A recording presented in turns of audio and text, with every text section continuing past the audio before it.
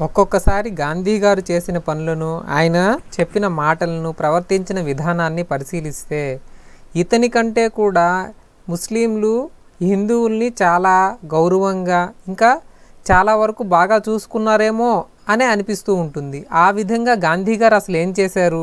కలకత్తాలో తమ ప్రాణాలు పోగొట్టుకున్నటువంటి ఎంతోమంది హిందువులు గాంధీ గారి దగ్గరికి వచ్చి మీరు జాతీయ కాంగ్రెస్ పార్టీ నాయకులు కదా మీరు మాకేమన్నా చేయండి అని ఆయన్ని ప్రశ్నిస్తే మీకు ఏమైనా సమస్య వస్తే మీరు నాలిక కొరుక్కొని చచ్చిపోండి. మీ స్త్రీలకు ఆత్మహత్య చేయడం చేసుకోవడం నేర్పించండి.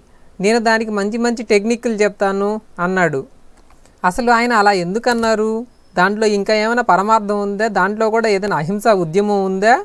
ఇంకా గాంధీ గారు అలా నౌఖాలి అనే ఒక ప్రాంతంలో హిందువులపై దారుణాలు జరిగి వాళ్ళు తమ ప్రాణాలు గుప్పెట్లో పెట్టుకొని ఒక కాంగ్రెస్ పార్టీ కార్యాలయంలో శరణార్థులుగా జీవిస్తూ ఉంటే కొంతకాలం పాటు అక్కడికి గాంధీ గారు వెళ్ళి వాళ్ళని వెంటనే ఆ పార్టీలో ఉంచి తరిమే ఆ పార్టీ కార్యాలయం నుంచి తరిమేసి వాళ్ళని రోడ్డు మీద పారేశారు. ఈ విధంగా గాంధీ గారు హిందువుల పట్ల అసలు ఎందుకు ప్రవర్తించారు?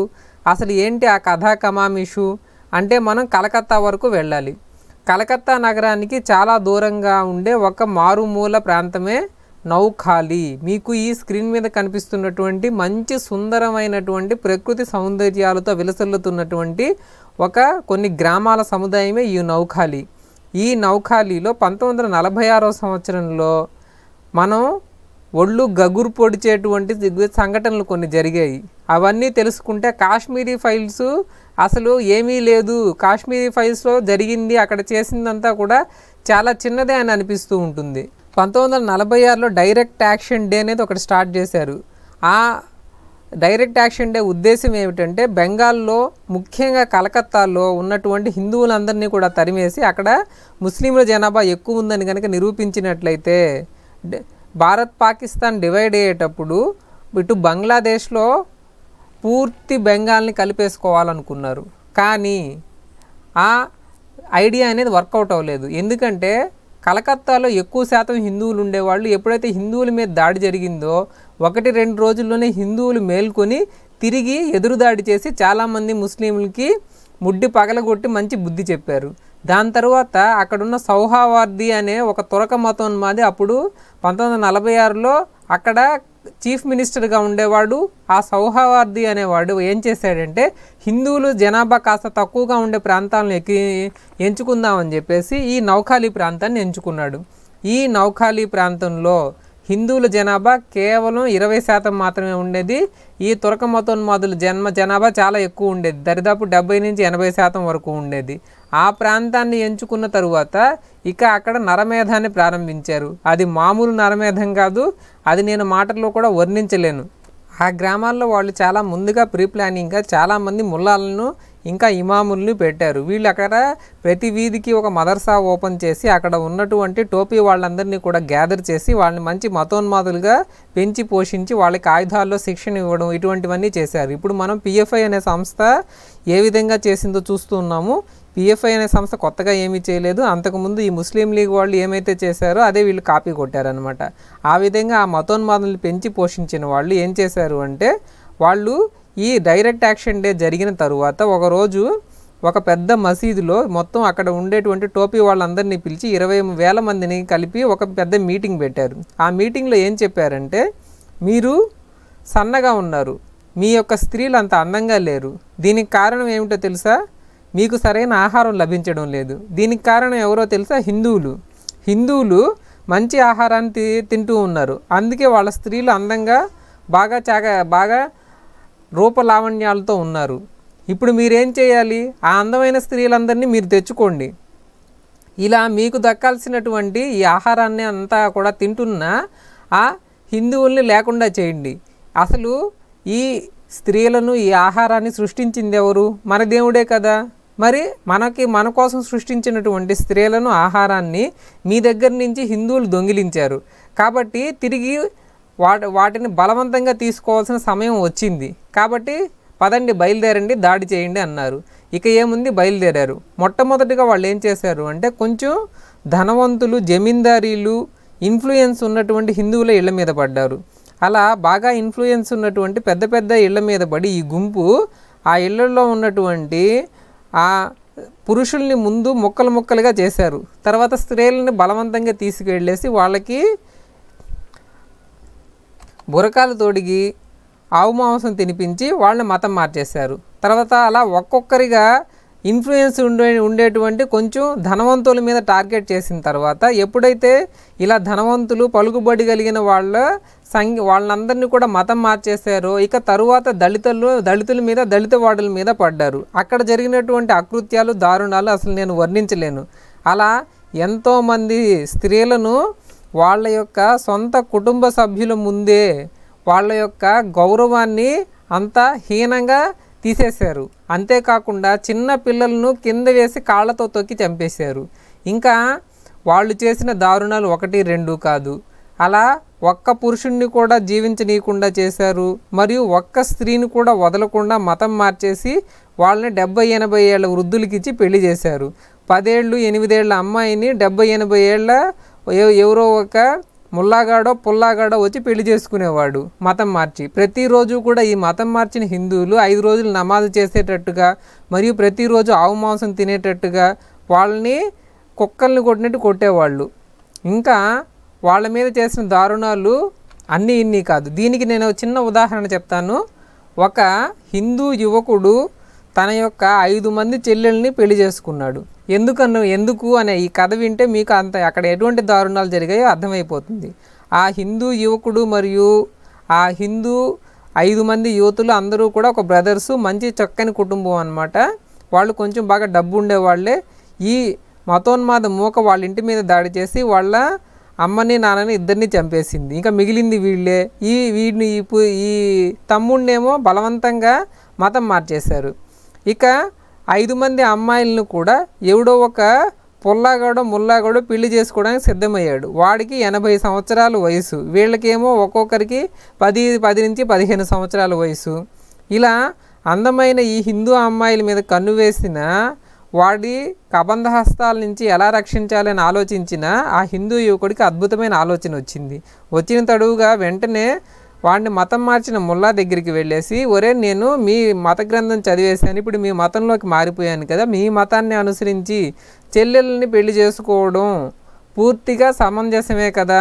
కాబట్టి నేను నా చెల్లెల్ని పెళ్ళి చేసుకుంటాను అని చెప్పి అతన్ని ఏదో విధంగా నా నయానో భయానో ఒప్పించాడంట. ఒప్పించిన తర్వాత అతను సొంత చెల్లెళ్ళని ఐదు మందిని నిఖా చేసుకొని ఒక పది రోజుల పాటు భార్యాభర్తల్లాగా ఉన్నట్లుగా అలా నటిస్తూ వాళ్ళ యొక్క చెల్లెల మాన మర్యాదలను గౌరవాలను కాపాడాడు. తరువాత ఎప్పటికో పది పదిహేను రోజుల తర్వాత సైన్యం ఈ యొక్క ఈ హిందువులపై జరిగే దాడులను ఆపడానికి అంతా అయిపోయిన తర్వాత వచ్చిన ఈ సైన్యం ని ఆయన గుర్తించి ఆ సైన్యం యొక్క రక్షణతో అక్కడి నుంచి బయటపడ్డాడు. సరే ఇవన్నీ జరిగేవన్నీ జరుగుతూ ఉంటే గాంధీ గారు పుండు మీద కారం రాసినట్టుగా ఇలా దారుణాలకు గురైన హిందువులు తమ దగ్గరకు వచ్చేసి గాంధీ గారి దగ్గరికి పంతొమ్మిది వందల నలభై ఆరులో వచ్చి ఇలా మా మీద దారుణాలు జరుగుతున్నాయి మమ్మల్ని రక్షించండి అంటే గాంధీ గారు తడుముకోకుండా వెంటనే మీ హిందూ స్త్రీలు అసలు ఆయుధాలు పట్టి ఏదో యుద్ధం చేస్తున్నారంట కొంతమంది రివాల్వర్లు కూడా పట్టుకొని తమను తమకు హాని చేయడానికి వచ్చిన ఆ అమాయకులైనటువంటి టోపీ మతం వాళ్ళని చంపుతున్నారంట. కొన్ని రెండు మూడు సంఘటనలు నేను విన్నాను. ఇది తప్పు. ముందు మీరు మీ స్త్రీలందరూ ఆయుధాలు మానేసి చనిపోవడం ఎలాగో నేర్చుకోండి. ఏం లేదు మీరు నాలిక మడత పెట్టి అలా నాలిక కొరుక్కున్నా చచ్చిపోతారు లేదంటే గాలి బె బిగబట్టేసేయండి చచ్చిపోతాడని చెప్పాడంట. ఆ మాట విన్నటువంటి హిందువులకి అసలే వాళ్ళు సర్వం కోల్పోయి ఉన్నారు కదా సలసల మండింది ఎక్కడ మండాలో? మండి గాంధీ గారిని ఇక వాళ్ళు చెప్పుతో కొడదాం అనుకున్నారు కానీ అది వీలు కాలేదు. ఈ విషయం బయటకు పొక్కి గాంధీ గారి గురించి ఈ గాంధీ ఇలాంటి మాట్లాడినాడని తెలిసిన వెంటనే అన్ని పత్రికలు ఇంకా హిందువులందరూ కూడా గాంధీ మీద దుమ్మెత్తిపోశారు అయినా కానీ వెనక తగ్గకుండా రెండో రోజు గాంధీ గారు వచ్చేసి అరే నేను నేను చిన్న తప్పు చెప్పాను. ఏంటంటే నాలిక కొరుక్కొని చనిపోవడం సాధ్యం కాదంట. నాకు మా నేను మా డాక్టర్ ఒక ఒకరు చెప్పారు. అన్నిటికంటే సులభమైన మార్గం ఏమిటంటే పాయిజన్ తీసుకోవడం అంట. కాబట్టి ఆ పాయిజన్ డబ్బాలు నేను ఉచితంగా ఇస్తాను. తీసి ఇంట్లో పెట్టుకోండి. మీకు ఏదైనా ఆపద వస్తే తాగేయండి అని చెప్పాడంట. ఇక అప్పటికే ఉడికిపోతున్నటువంటి హిందువులు రెండో రోజు గాంధీ దిష్టి బొమ్మలు దగ్ధం చేసి గాంధీ బొమ్మలు పెట్టి చెప్పుతో కొట్టారంట. ఇక అప్పటికి భయపడ్డ గాంధీ మీరు ఆవేశపడద్దు నేను నౌకాలీకి వెళ్ళేసి అసలు ఏం జరిగిందో తెలుసుకొని వస్తానని నౌకాలీకి వెళ్ళారు. అసలైన విషయం ఇక్కడే. అక్కడ నౌకాలీలో సుచిత్ర దాస్ అనే ఒక లోకల్ కాంగ్రెస్ నాయకుడు అక్కడ దాడులకు గురి గురైనటువంటి హిందువులందరినీ కూడా తన యొక్క సంరక్షణలో పెట్టుకొని వాళ్ళకి ఆహారము మరియు రక్షణ కల్పిస్తూ ఉన్నాడు. ఆ క్యాంపు ఆ శరణార్థుల క్యాంపు దగ్గరికి గాంధీ గారు వెళ్ళి చూశారు. అక్కడ ఎంతోమంది హిందువులు ఆశ్రయం పొందుతూ ఉండడం చూసేసరికి ఆయన కడుపు మండింది. ఎందుకంటే హిందువులంటే ఎప్పటికీ గాంధీ గాంధీ గారికి ద్వేషమే. ఆయన ఆ శరణార్థి శిబిరం నడిపిస్తున్న సుచిత్ర గారిని ఇలా అడిగారు. మీరు వీళ్ళందరికీ ఉచితంగా ఆహారాన్ని అందిస్తున్నారా? ఉచితంగా ఆశ్రయం ఇస్తున్నారా? అని అడిగాడు. అవునండి వీళ్ళందరూ కూడా అనేక దాడులకు గురై ఉన్నారు. ఇప్పుడు వాళ్ళ యొక్క మానసిక పరిస్థితులు కానీ శారీరక పరిస్థితులు కానీ బాగాలేదు అందుకని ఉచితంగా నేను ఆహారం ఇచ్చి సంరక్షిస్తున్నానంటే నువ్వు వెంటనే వీళ్ళని ఇక్కడి నుంచి తరిమేయి. వీళ్ళకి ఉచితంగా ఆహారం ఇవ్వద్దు. ఉచితంగా ఆశ్రయం అసలే ఇవ్వద్దు. ఎందుకంటే అలా ఇస్తే నువ్వు వాళ్ళ యొక్క స్వాభిమానాన్ని దెబ్బ కొట్టినట్టు. వాళ్ళు ఆత్మాభిమానం కలిగి క- కలిగిన వాళ్ళు. కాబట్టి వాళ్ళ చేత ఏదైనా పని చేయించుకొని కావాలంటే ఆ పని చేసిన దానికి ఏదో ఒక ముద్ద అన్నం పెట్టు కానీ ఇలా వాళ్ళని హిందువుల్ని ఇలా దాడులకు గురైన ఆ హిందువుల్ని ఇలా నువ్వు ఉచితంగా పే- పోషించడం అనేది సమంజసం కాదు అని చెప్పారు. అతను వెంటనే ఇక్కడ నేను సంరక్షిస్తున్న వాళ్ళందరూ కూడా ఎన్నో దాడులకు ద గురయ్యి తమ ఆరోగ్యం బాగా లేని హిందూ స్త్రీలు ఇంకా చిన్నపిల్లలు వాళ్ళ చేత నేనేం పని చేయించుకున్నాను అని అడిగాడు. అడిగితే ఏదో ఒక పని చేయించుకో కావాలంటే బాత్రూంలైనా కడిగించుకో ఉచితంగా మాత్రం వాళ్ళకి ఆహారం ఇవ్వద్దని చెప్పాడు. అంతేకాకుండా అతన్ని మరియు కాంగ్రెస్ పార్టీ నాయకుల్ని ఎంతో ఒత్తిడి చేసి దాని తరువాత అక్కడ ఆశ్రయం పొందుతున్నటువంటి ఆ హిందువులందరినీ కూడా బలవంతంగా తరిమేశాడు గాంధీ. ఇంకొక పుస్తకంలో రాసిన ఒక విషయం చదివితే మీకు ఫ్యూజులు ఎగిరిపోతాయి. Mahatma Gandhi as I saw him P C. Ghosh పుస్తకంలో గాంధీ గారు అసలు ఈ దాడులు ఎందుకు జరిగాయి అని చాలా సింపుల్గా తేల్చేశారు.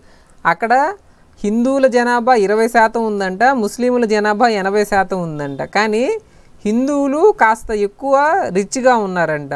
అక్కడ హిందువులు తరతరాల నుంచి ఉంటూ ఉన్నారు. ఈ మధ్య ఈ తురగ మతోన్మాదులు అక్కడ చేరి తమ యొక్క జనాభాని పెంచుకున్నారు. తరతరాల నుంచి వాళ్ళు అక్కడ ఉంటున్నారు కాబట్టి అక్కడ ఉండే పొలాలు అక్కడ ఉండే స్థలాలు ఎక్కువ శాతం హిందువుల పేరు మీదే ఉన్నాయంట. అలా హిందువులకి ఆస్తి ఎక్కువగా ఉంది కాబట్టి ఇలా ముస్లింలు దాడి చేశారు అని చెప్పి సింపుల్గా ఇందులో తప్పేమీ లేదు. ఇది సమంజసమే. ఇలాగా హిందువుల ఆస్తులు ఎక్కువ ఉంచుకోకూడదు. ఉన్న ఏదైనా ఆస్తులు ఎక్కువగా కనుకుంటే అవన్నీ కూడా తురక మతోన్మాదులకు దానం చేయండి అని చెప్పి ఉచిత సలహా పారేశారు. ఇక ఈ ఉచిత సలహా విని తట్టుకోలేక అందరూ చెప్పుతో కూడా అక్కడి నుంచి తరిమేశారంట మన గాంధీ గారిని. ఇక ఏం చేద్దాము? మరి ఇటువంటి పనులు చేసిన గాంధీ గారు ఎప్పుడైతే పంతొమ్మిది వందల నలభై ఏడవ సంవత్సరంలో మనకి స్వాతంత్రం వచ్చిందో ఈ తురక మతోన్మాదులందరూ ఈ దాడులు చేసిన వాళ్ళు మేము పాకిస్తాన్కి పోమని భీష్మించి కూర్చున్నారు. అప్పుడు హిందువులందరూ కలిసి వాడిని తన్ని పాకిస్తాన్కి తరిమే తరిమేసే ప్రయత్నం చేస్తూ ఉంటే గాంధీ గారు వచ్చి మళ్ళీ అడ్డుపడ్డారు. గాంధీ గారు ఈ పని చేయకపోతే బెంగాల్లో అసలు ఈరోజు ఒక్క ముస్లిం కూడా ఉండేవాడు కాదు. కాబట్టి ముస్లింలందరూ గాంధీ గారికి రుణపడి ఉండాలి. హిందువులందరూ కూడా గాంధీ గాంధీ చేసిన ఈ పనుల్ని గుర్తుపెట్టుకొని మనం గాంధీ యొక్క అసలు స్వరూపాన్ని మర్చిపోకూడదు. ఆయన మహాత్ముడు. అనేటువంటి విషయం విషయంలో ఎంత నిజం ఉందో మనం ఎప్పుడూ గుర్తుంచుకోవాలి.